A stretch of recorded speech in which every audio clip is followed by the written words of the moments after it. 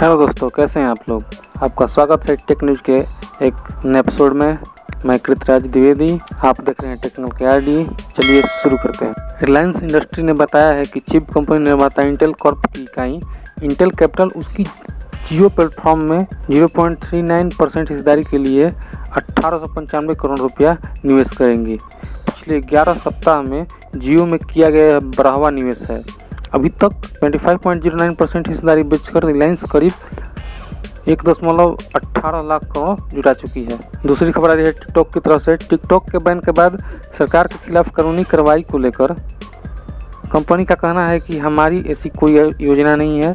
हम सरकार के साथ मिलकर कार्य करेंगे। कार्य करने के लिए प्रतिबद्ध हैं। हम भारत सरकार के कानूनों और नियमों का पालन करते हैं। कहीं मक्खन तो नहीं लगा रहे हैं? आपको क्या लगता है? जल्दी से कमेंट बॉक्स में लिख डालिए। अगली खबर आ रही है एप्पल की तरफ़ से। एप्पल ने सरकारी लाइसेंस के कमी के चलते चीन के ऐप स्टोर पर हज़ारों गेम के लिए अपडेट रोक दिया है। फरवरी में एप्पल ने गेम डेवलपर्स को लाइसेंस दिखाने के लिए 30 जून तक की डेडलाइन दी थी सबने एक नए फीचर की घोषणा की है, जिसके तहत उसकी यूज़र्स फ़ोन नंबर की जगह अपने फ़ोन पर क्यूआर कोड स्कैन करके नए कॉन्टैक्ट्स जोड़ सकते हैं।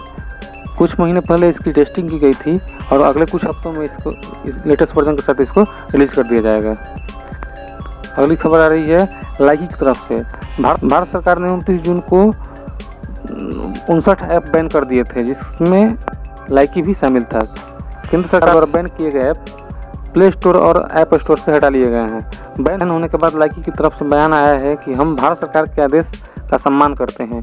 इस मामले में ज़्यादा स्पष्टता आने तक हम भारत के, हम भारत में इसकी सर्विस बंद रखेंगे। मैं तो कहता हूँ, कोई स्पष्टता आने की ज़रूरत ही नहीं है। स्पष्टता आए या ना आए, ऐप नहीं आना चाहिए। आप भी बताइए, आपका क्या कहना है? अगली न्यूज़ आ रही है जियो की तरफ़ से। जियो ने अपना video conferencing app Jio Meet launch कर दिया है। इसमें डायरेक्ट कॉल के साथ साथ 100 लोग एक साथ कॉन्फ्रेंसिंग कर सकते हैं। ये ऐप एंड्रॉयड और आईओएस दोनों पर फ्री में उपलब्ध है। ये अच्छी बात है हमारे देश के लिए। मेड इन इंडिया ऐप बनने चाहिए। यह जूम गूगल मीट और माइक्रोसॉफ्ट टीम या सीधी टक्कर दे सकती है। अच्छा लगा हो तो लाइक कीजिए कमेंट कीजिए और सब्सक्राइब कीजिए। ज़ोर से दबाइए सब्सक्राइब वाले बटन को। जय हिंद, वंदे मातरम।